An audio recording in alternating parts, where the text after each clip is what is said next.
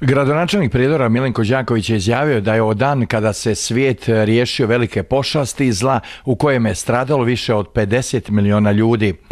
Sa kojim generacije koje danas žive na ovim prostorima upozoravaju mlade ljude šta to nosi fašizam kao ideologija koja je bila ubitačna za cijeli svijet i mi podsjećamo prije svega mlade generacije na ono što se desilo u drugom svjetskom ratu, te nas ogromno stradanje, pogotovo ovdje naroda i boraca ispod Kozare, koji su samo branili porodično ognjište, branili svoju nejač i uspjeli je dijelom odbraniti.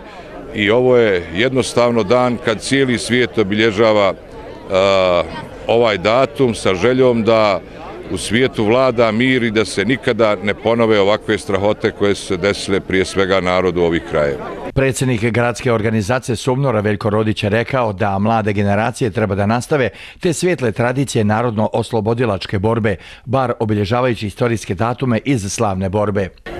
Tako da je iz Prijedora, odnosno sa područja opštine Prijedor, poginulo 307 boraca sa puškom u ruci. Poginulo je od 1500 do 2000 žrtava fašističkog terora, a to je civilno stanovništvo. Mi smo malo čas položili vjenac ovdje u jevrejskom groblju na jednu od grobnica prijedorskih žrtava fašističkog terora. U toj grobnici nalazi njih 833.